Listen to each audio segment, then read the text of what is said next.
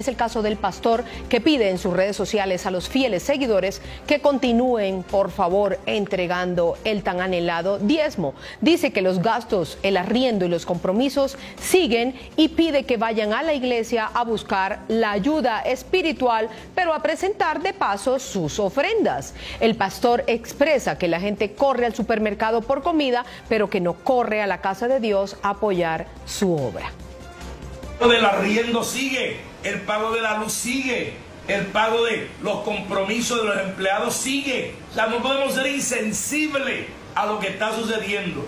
¿Qué, ¿Qué, tiene que hacer la iglesia? ¿Qué tiene que hacer la iglesia? Haga transferencia, vaya allá al templo, ahí hay gente, ahí está la tesorera, diga, aquí está mi diezmo, así como va al supermercado, vaya a la iglesia, porque hay gente que va al supermercado a buscar comida física, pero ¿por qué no vas al, supermercado espiritual que te ha sostenido en todo tiempo que te está sosteniendo ahora? También a decir, aquí está mi ofrenda, aquí está mi apoyo a la obra de Dios, a Dios. Entonces, los mercados se están llenando ahora porque todo el mundo está comprando comida.